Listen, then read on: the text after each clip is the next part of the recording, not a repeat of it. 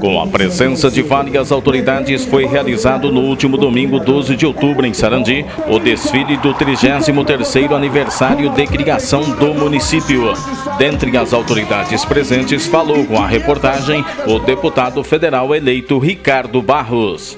É muito a comemorar, a cidade está melhorando muito, é, muitos bairros sendo asfaltados, saneamento, muito recurso para saneamento, a cidade bem administrada pelo prefeito De Paulo e sua equipe e com muitos recursos da deputada Cida Borghetti, do governo federal e que agora certamente vão aumentar. Eu em Brasília me comprometo a trazer muito, muito recurso federal para a infraestrutura de Sarandi ficar cada vez melhor. A deputada federal e agora vice-governadora eleita Cida Borghetti. Olha, quero parabenizar a população, 33 anos.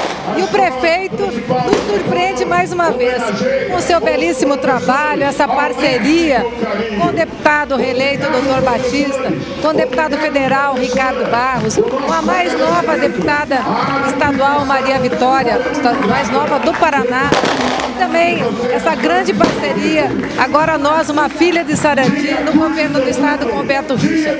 Muito obrigada a toda a população e parabéns pelos 33 anos, parabéns ao prefeito de Paula, que inova mais uma vez pela primeira vez prestigiando com desfile cívico, né? Mostrando a história da cidade. Então a memória, a cultura é muito importante para a formação das nossas crianças. Parabéns. E o prefeito de Sarandi, Carlos de Paula. Sarandi tem que mostrar sua força, tem que mostrar a sua cara.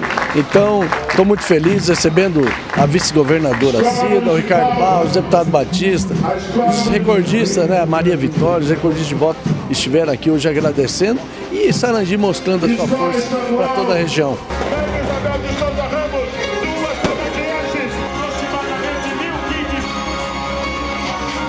Alegria, juventude, experiência